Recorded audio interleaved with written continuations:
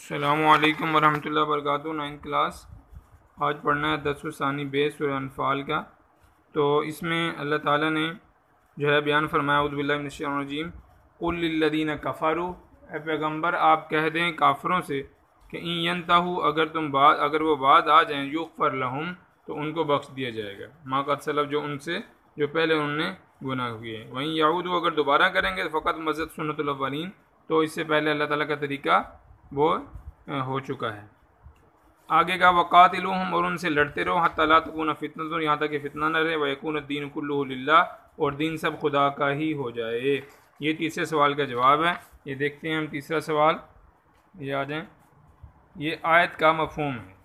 یعنی کہ کافروں سے لڑتے رہو، یہاں تک کہ فتنہ یعنی کفر کا جو فتنہ ہے، وہ باقی نہ رہے، اور دین خدا کا ہو جائے۔ یعنی کہ دین جو ہے وہ خالصتاً اللہ تعالیٰ کے دین پر عمل صرف اللہ کے لیے ہو جائے، پورے دنیا میں دین پھیل جائے۔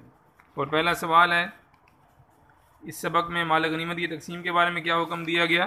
تو وہ فرمایا وعلمو جان لو کہ جو چیز تم کفار سے غنیمت کے طور پر لاؤ، اس میں سے پانچواں حصہ خدا کا اور اس کے رسول کا اور اہل کرابت کا یعنی جو آپ کے رشتہ دار ہیں۔ حسن کے رشتہ دار ہیں ان کا اور یتیموں اور محتاجوں کا اور مسافروں کا ہے۔ ٹھیک ہے؟ یہ پہلے سوال کا جواب ہے۔ پانچواں حصہ۔ پورا ٹوٹل جو مال غنیمت ہوگا، ان میں سے پانچواں حصہ علیحدہ کر لیں گے اور وہ اللہ، اس کے رسول اور رشتہ داروں، یتیموں، محتاجوں، مسافروں کا۔ اس کے بعد جو باقی مال ہوگا، چار حصے، وہ جو ہے تقسیم ہو جائے گا سب میں۔ اور اس کے بعد دوسرا سوال ہے، اللہ تعالیٰ نے غزوہ بدن میں عثمانوں کی کامیابی کے لیے کس کس خصوصی انعام و احسان کا ذکر فرمایا؟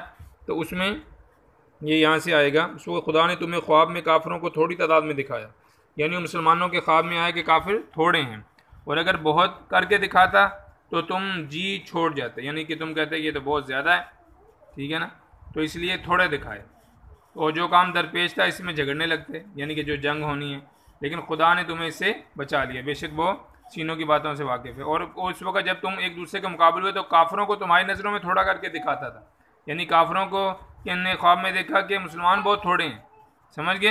اور تم کو ان کی نگاہوں میں تھوڑا کر کے دکھاتا تھا، جیسے پہلے آ گیا۔ تاکہ خدا کو جو کام منظور ہے اسے کر ڈالے۔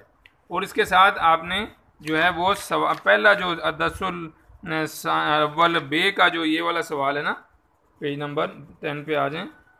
یہ، اس سبق میں خزبہ بدر کے حوالے سے اللہ تعالیٰ کن انعامات کا ذکر کیا گیا۔ تو یہ بھی ساتھ اٹیچ کر لینا ہے۔ اس سوال کے ساتھ یہ بھی اٹیچ کر لینا ہے، ٹھیک ہے؟ یہ یاد رکھنا ہے آپ نے اچھی طرح۔ کیونکہ سوال ایک ہی ہے، تو، سوال دو طرح لکھیں گے پہلے بھی سوال ہے، یہ بھی سوال ہے۔ تو اس لیے جواب ایک ہی ہے۔ ٹھیک ہے، اس کے الفاظ معنی آپ نے یاد کرنے ہیں۔ یہ والے، ٹھیک ہے نا؟ وہ ترجمہ یاد کرنا ہے اور یہ سوال کے جواب۔ ٹھیک ہے؟ السلام علیکم۔